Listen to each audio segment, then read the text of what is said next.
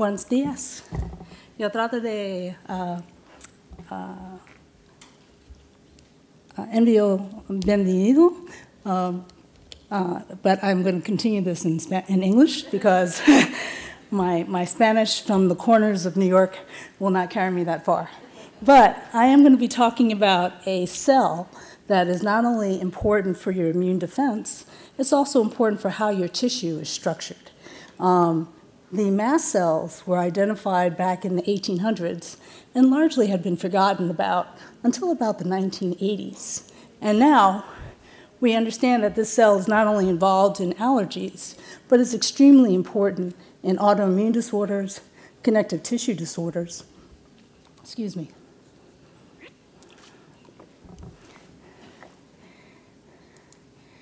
and structure. So we're going to start off with the basics. And we're going to talk about the importance of balance and homeostasis, where every minute of every hour of every day, you need to keep your water, your nutrients, your waste products, your salts all within a certain limit of time, a certain balance. And if you go out of balance is when you're going to be you're going to feel unwell. Crucial to this is your immune system because you're going to be having challenges from within as well as from without. And there was a German philosopher named Peter Sloterdijk who basically said that we are all born with immune systems that can be defined a priori as embodied expectations of injury and corresponding programs of protection as well as repair. And at the front line of this are our borders. So I want to use the analogy of a city state where you have a wall around a city, around a community. And whether you're talking about the Great Wall of China or enclosed communities in a city, you're talking about the ability of keeping things in and keeping things out. But the Chinese, as well as modern communities today, found that fences and walls only offer you a limited amount of protection, and you have to have guards on the walls that act as uh, sentries, looking for dangers, and then containing that danger and calling for appropriate help when necessary. That is the role of the mast cell in our borders, our skin, our gut, our respiratory tract, our urogenital tract. Basically, you, and a lot of people have a tendency to focus on eating, but you may eat three or four times a day. You breathe 18 times per minute, and your body skin is always exposed to the environment. So you need to be able to keep out things that are harmful to you and allow things that are helpful for you to come in. Unfortunately, when it comes to thinking about our defense and our repair systems, mast cells usually do not get mentioned. So you have our anatomic barriers, our ability to change our temperature and our pH in order to maintain that homeostatic balance.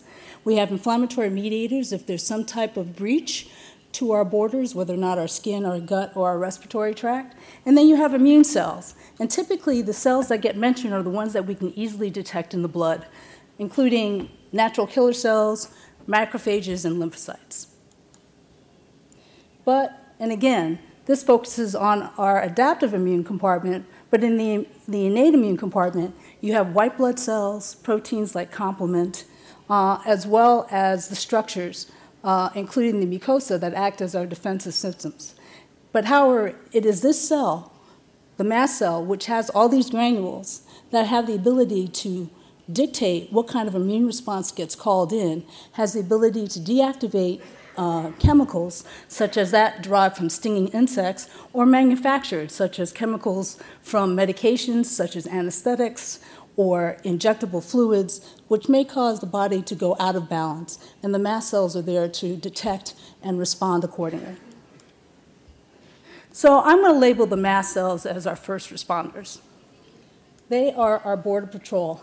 They are isolated sentries stationed in every single organ system and they are armed with various sensors to detect things that they know are foreign to us and potentially dangerous. And they have a barrage of chemicals that can be utilized to contain that danger once the mast cell recognizes the entity. As I had said before, mast cells are not found in the blood. which may have led to the uh, delayed diagnosis in many patients that have mast cell dysregulation. So you can easily detect lymphocytes, eosinophils, macrophages in the blood, but when it comes to looking for, for mast cells, you have to look in the tissue directly. They act in direct communication with the collagen, with nerve fibers, with the blood vessels in order to coordinate not only defense, but tissue repair. And they are armed with sensors. And I'm going to just point out a few. Uh, no está trabajando.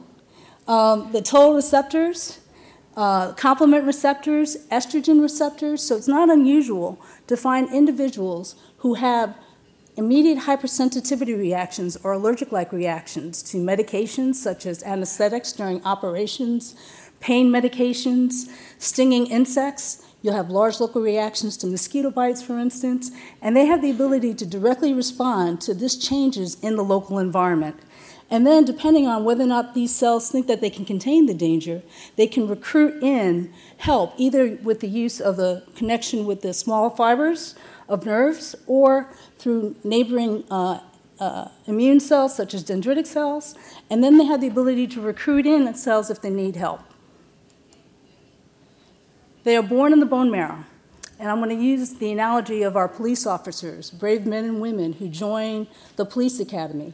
They get their basic training and then they get assigned communities to protect. Same thing with the mast cells. They get their initial training in the bone marrow and then they are exported to different parts of the body the brain, the spleen, the gastrointestinal tract, and they situate themselves right below the surface area in order to act as surveillance and an immediate response team. So, using the analogy of the police officer, uh, if the police officer sees somebody who's down, they're going to call an ambulance. If they see somebody who's performing a crime, they might call in, you know, the SWAT team or, or more help of armed individuals. If they see a fire, they might call the fire department. The same thing with the mast cells.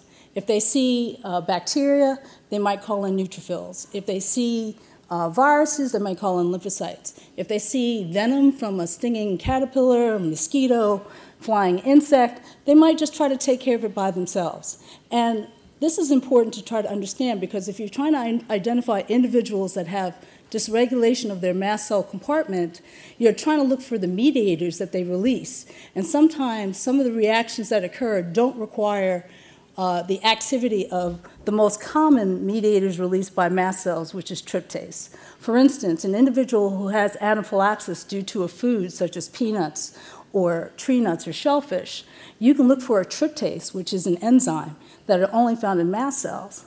But mast cells don't release this enzyme during those type of reactions. So it's easily able to miss someone who has a mast cell dysfunction simply because you're looking for a mediator that does not participate in those type of reactions. So I'm going to briefly talk about what mast cells are supposed to do, and then I'm going to talk about what happens in individuals who have, for instance, a connective tissue disorder, such that the mast cells are misbehaving and potentially contributing to the pathology that's occurring in individuals that have Ehlers-Danlos syndrome. So what do mast cells supposed to do?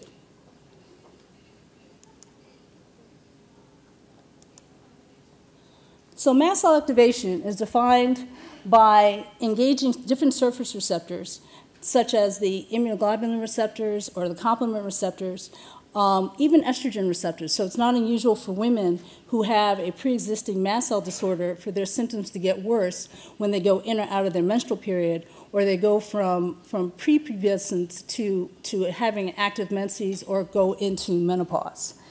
The severity of the reaction will depend on what the mast cell is seeing and in what condition uh, the encounter is happening. For instance, there are individuals that have IgE to peanut, but might not necessarily have an allergic reaction when they ingest peanuts simply because the body is in a more restful, tolerant state.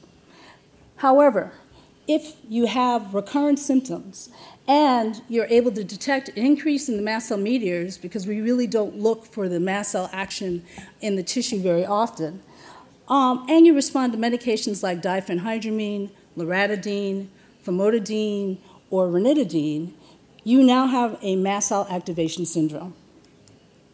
So these are examples of individuals who have come through my office and some of the complaints that they mentioned about.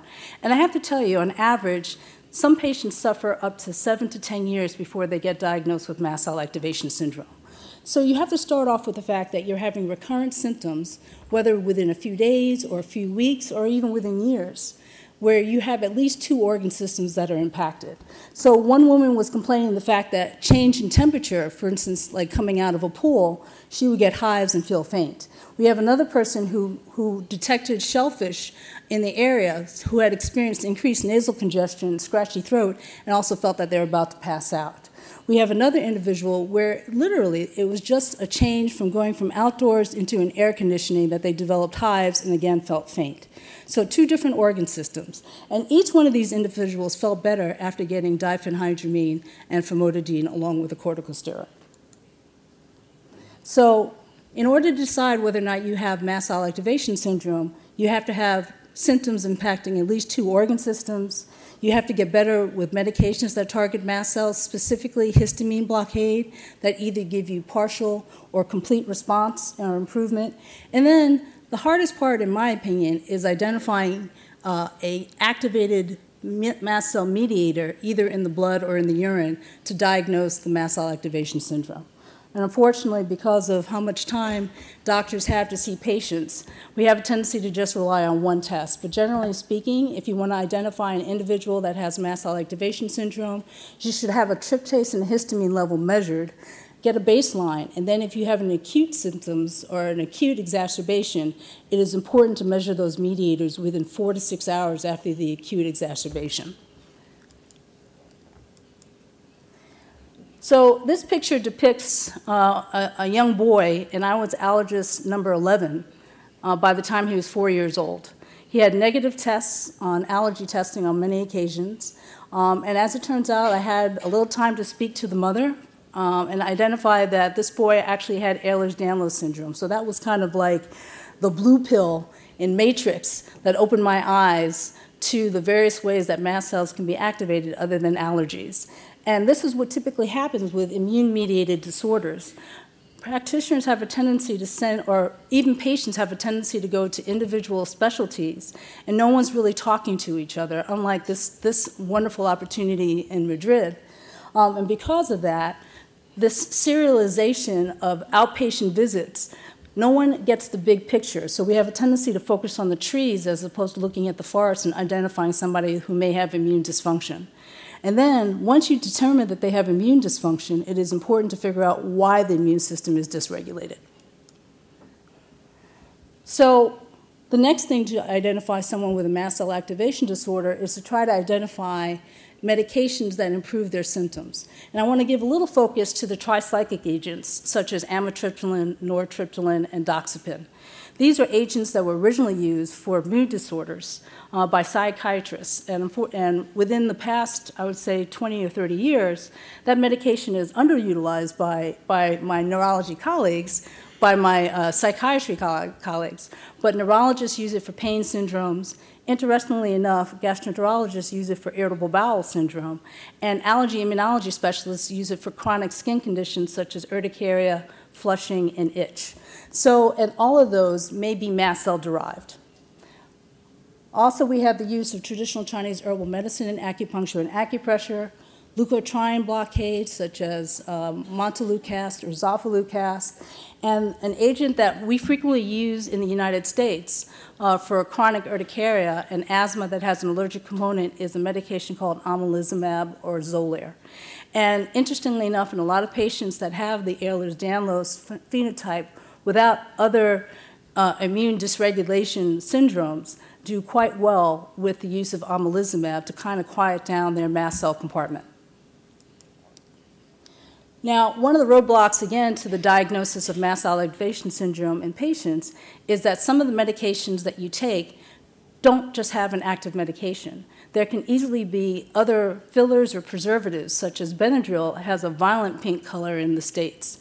You have uh, fillers like lact uh, lactose, soy-based uh, chemicals as well, which can interfere with the active uh, ingredient uh, to quell your symptoms that are associated with mast cell uh, mediated disorders. Another reason that you you may have a mast cell activation syndrome, but the medications are not working, is you have to remember that the mast cells have a job to do. They're supposed to respond to danger, and they're also supposed to help with the rebuilding and healing once an injury is sustained. And I use this example of a, a dog that's been trained to attack and is being restrained by a muzzle and a leash, but you can see he's still at attention. Similar to mast cells, by taking Benadryl, you might be restraining your immune system from going after something that you haven't detected yet, such as an, a chronic infection, or you're in an environment where you have chronic exposure to either an airborne chemical that might be driving your immune system to go awry. The last part is to try to identify test results that uh, confirm that your mast cells are dysregulated. And again, remembering that mast cells are not in the blood, you're going to try to look for some circumstantial evidence suggesting that your mast cells are dysregulated. So the most sensitive marker is serum tryptase. Um, and I have to tell you, it's extremely difficult getting this, this uh, lab value in the emergency departments because a lot of emergency department physicians don't want to be responsible for this piece of data. But this is the most sensitive marker for mast cell dysregulation. And by the way, Sometimes identifying mast cell activation syndrome is the same way of trying to identify someone who's had a cardiovascular event. Sometimes you need to take serial measurements to identify whether or not mast cells are misbehaving or dysregulated. And that would require getting a baseline and again, checking for a tryptase at least four to six hours after you had some type of an acute change in your health. Also suggestive of mast cell dysregulation is serum and urine histamine levels and another mediator called prostaglandins. So if you look at prostaglandin D2 or 11 beta F2 alpha, this is also strongly suggestive of mast cell dysregulation. Ultimately, the best way to kind of diagnose mast cell dysregulation is to look for mast cells in the tissue. And the most data actually exists in the bone marrow, but there's a substantial number of information uh, in the gastrointestinal tract. So I would strongly recommend if you've undergone an endoscopy for, or, or colonoscopy for either gastroesophageal reflux symptoms or chronic constipation or diarrhea, it would be important to go back and stain that tissue for mast cells and also to see whether or not there's any activation of the mast cells by looking for activation markers. And so to just highlight the difference, the pink slide to the right shows a normal mast cell. They don't like being clustered together. They're kind of like single sentries. They are round. Uh, to the left uh, is um, a, a, biopsy from someone who has mastocytosis. And you can see that there are more than one mast cell in, uh, uh by themselves. They're clustered. They also have a tendency to be spindle shaped. So if they have upregulated activation markers, if they are spindle shaped, or they are clustered, that is pathognomonic for mast cell activation syndrome. So, what is the roadblock to getting a diagnosis from the data standpoint? A lot of doctors don't know what to order. We don't know what a normal tryptase is. Um, you have to explain to the pathologist how to look for mast cells because they don't routinely do this uh, when they look at biopsies. And then, unfortunately, there's just not enough data to figure out what is a normal level of mast cells and what is an abnormal level of mast cells. But I would not deter that. I, this should not be a deterrent to you figuring out whether or not mast cells are contributing to your fatigue, your gastrointestinal distress, or your neurocognitive impairment if you're having these symptoms, it's important to understand whether or not the mast cells are dysregulated or not. And if they aren't, if they are, it will be important to try to think about treatments to calm the mast cells down in order for you to feel better.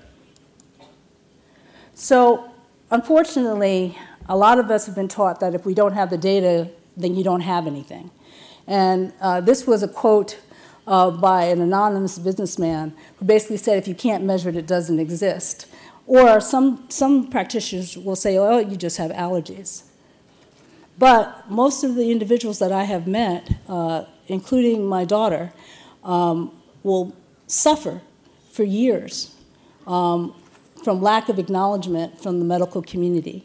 And then it's not unusual for patients to be labeled with malingering, hypochondriasis, uh, conversion disorder, simply because the doctors don't know how to measure for mast cell dysregulation. So the, the true phrase actually comes from Lord Kelvin, where he said, if you can't measure it, you can't change it. So if you make an effort with the suggestions that I just made and identify whether or not mast cells are contributing to your, uh, to your conditions, then you might have a, a, a new roadmap to try to get better.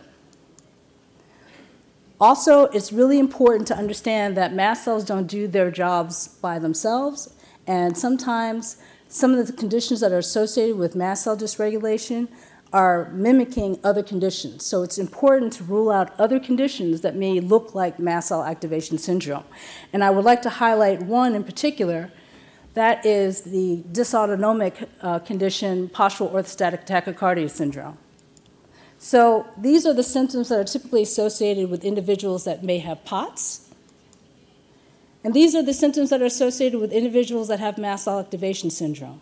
That's because nerves talk to the mast cells in the tissue, Mast cells talk to the nerves uh, in the tissue, so it's important to identify what might be the more predominant uh, cell population that may be contributing to your symptoms. But again, you don't want to get focus on individual trees, but the dialogue that's going on within the tissue itself. So again, for diagnosis of mast cell activation syndrome, do you have at least two or more organ systems? Do you get better with medications like histamine blockers? And what, does, what data or test results supports that the mast cells are dysregulated? Once you, once you determine your mast cells are dysregulated, which I often liken to that red light that comes on in your car, says check engine soon. If you're having itchiness, hives, headaches, irritable bowel syndrome like symptoms, diarrhea, and constipation alternating, that just says something is wrong in your body. You need to better define what might be causing the mast cells to be dysregulated. And it's been broken down into intrinsic factors because just like you might have a rogue police officer, you might have a rogue mast cell that has sustained a mutation in either a major growth factor or one of the substances that gets released by the mast cells. That is an uncommon syndrome. Less than 200,000 people worldwide have mastocytosis or monoclonal mast cell activation syndrome. For the most part, it is secondary conditions like having IgE to peanut, pollen, mold, uh, medications, or you have an autoimmune disorder such as uh, lupus. It's not, it's not uncommon for allergists uh, to identify somebody who's had chronic hives and will find that they either have a chronic infection like hepatitis or Lyme.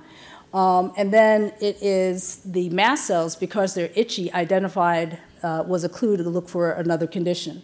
And then you have individuals that have physical urticarias, such as cold induced hives uh, change in climate that causes you to go into anaphylaxis or have an asthma exacerbation. And what I find interesting about the physical urticarias and some in individuals that have a connective tissue disorder, again, this kind of reflects a miscommunication that's going on within the tissue between the peripheral nerve fibers, the mast cell compartment, and the connective tissue that those two organ systems service. So how do you treat mast cell activation syndrome? It all depends on what's driving the mast cells. So if it is a intrinsic problem, like you have a mutation in the mast cells, then using medications that target the mast cells are shown to be helpful.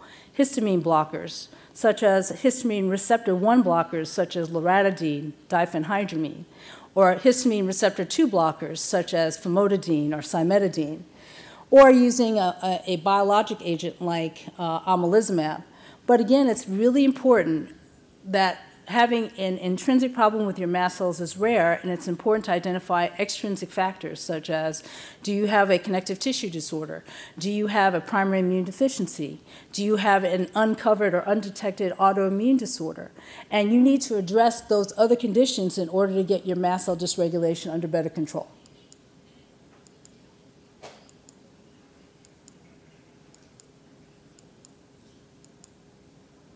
So I want to focus a little bit more about connective tissue disorders. And I have to tell you, uh, that little boy I had mentioned before, um, I was allergy immunology specialist number 11, and I had to kind of revisit what I knew about connective tissue disorders because that probably was one board question on my test two decades ago.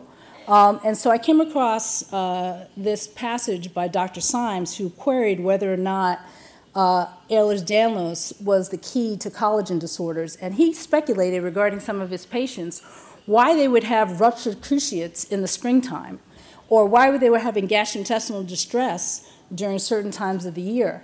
Um, was there some type of pattern regarding mast cell dysregulation or neuropathic that would predispose these individuals? And what I found to be interesting uh, is that Dr. Symes is a veterinarian. And interestingly enough, we have uh, variants of Ehlers-Danlos syndrome in, in other than humans. And I have to tell you, um, when I was doing basic science with mice, and I wanted to make mice allergic, I would have to traumatize them before I can make them allergic to whatever I wanted to sensitize them to, including cheese. And that's the thing about the immune system. You have to have some type of form of injury to awaken the immune system to respond. And then they're going to look to see what they need to attack. And then if it keeps on seeing it, it will label it as a dangerous substance and continuing to attack it. So some further research, I was able to identify a paper back in 1977 that showed that individuals that had certain types of connective tissue disorders were much more likely to have mast cell dysregulation.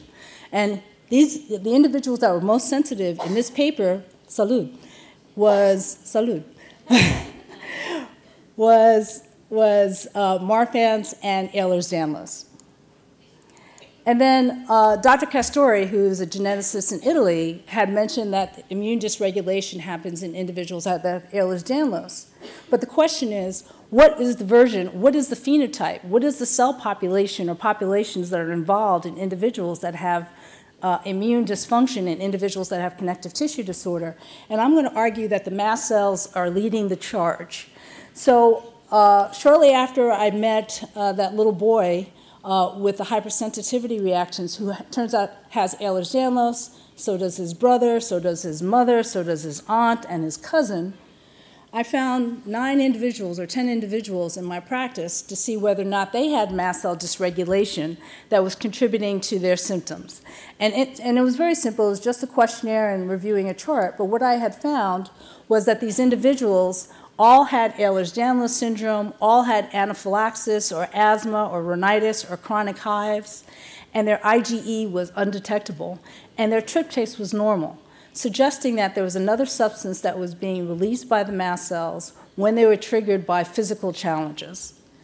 And a little more fancier was this paper that came out in uh, 2016 so the group at National Institutes of Health identified families that had at least three generations of individuals who had a marker for hypersensitivity. And what they found in all of these families is they had a duplication or triplication of the tryptase gene, an enzyme that Dr. Theoharides calls the meat tenderizer. And all three of these, all three, all of these families had either a duplication or triplication of the tryptase gene, and it was associated with the triad of Ehlers-Danlos syndrome, hypermobile type, mast cell activation syndrome, and dysautonomia.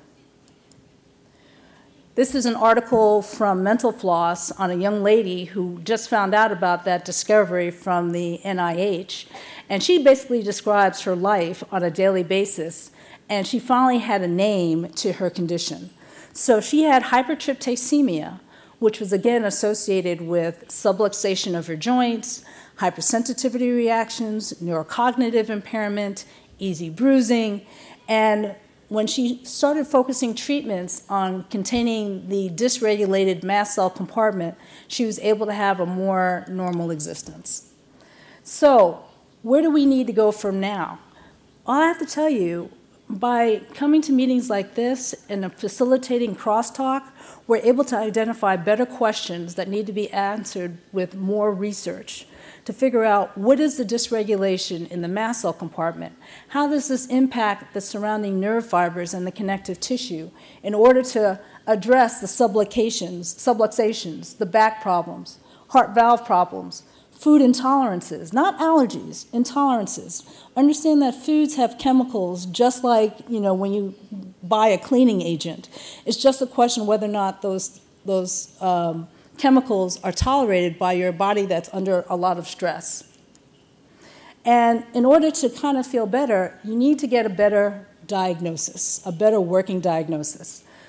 You have to screen appropriately, you have to have targeted testing, you need to educate yourself and your family members in order to maintain that support and community. And then it really is all about prevention. And I use this asthma slide to suggest that, and here's the thing asthma is a huge problem in the US, especially in urban environments. Um, and even the little boy who's a little bit heavyweight was able to feel better. So I'm going to wrap up with this comment uh, from Polly Matzinger, who is an incredible researcher who started off as a cocktail waitress in Los Angeles and now heads one of the major uh, immunology sections at the National Institutes of Health after one of the researchers said, Hey, you asked some really good questions. You should go into graduate school. We all have an opportunity to not only help ourselves but pass it forward. And it starts with reducing the body stress, which then allows you to res restore tolerance. And if you restore tolerance, the mast cells will stand down, and their impact on other organ systems will do so also. Thank you for your attention. Yes, hey, gratitude. Gracias.